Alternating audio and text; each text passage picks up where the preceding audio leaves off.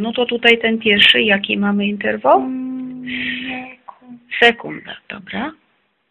No dotknij dobrze. Tak. Dalej, drugi. Mm, te. Tercja, odważnij Dobrze.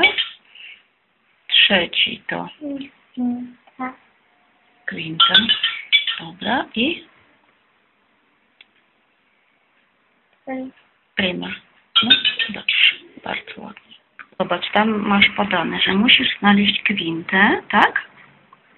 I jest tych kwint cztery. Tutaj mam podpowiedź napisaną. No proszę poszukać. Pamiętasz, jak te kwinty? Tak, dobrze. Jedna jest. Druga jest. Trzecia jest.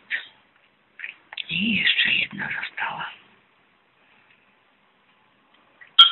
Brawo. Czyli tutaj musimy znaleźć Ne. bemol. Dobrze. Dalej tu kasownik. Który, co robi kasownik, pamiętasz? Nie miałaś jeszcze tego? Taki znaczek, który odwołuje i bemol, i krzyżyk. No to który to może być? Ten, tak, Dalej mamy metrum i pauzę.